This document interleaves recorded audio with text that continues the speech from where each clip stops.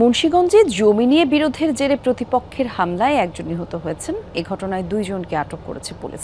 সোমবার রাতে শহরের মাঠাপাড়া এলাকায় এই ঘটনা ঘটে। পুলিশ জানায়, স্থানীয়রা পুলিশ এবং স্থানীয়রাই জানিয়েছে, দক্ষিণ কোটগাঁও এলাকায় ডিশ ব্যবসায়ী হুমায়ুন হোসেন এবং তার ভাই সোহেলের সাথে মাঠাপাড়ায় মোহাম্মদ উজ্জ্বলের জমি নিয়ে বিরোধ ছিল।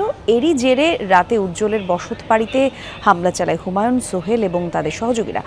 মারধরের পর ফেলে রেখে যায় উজ্জ্বলকে। আহত অবস্থায় স্থানীয়রা তাকে হাসপাতালে নিলে চিকিৎসক মৃত ঘোষণা করে তাকে। ঘটনার পরপরই অভিযুক্ত হুমায়ুন এবং সোহেলকে আটক করেছে পুলিশ।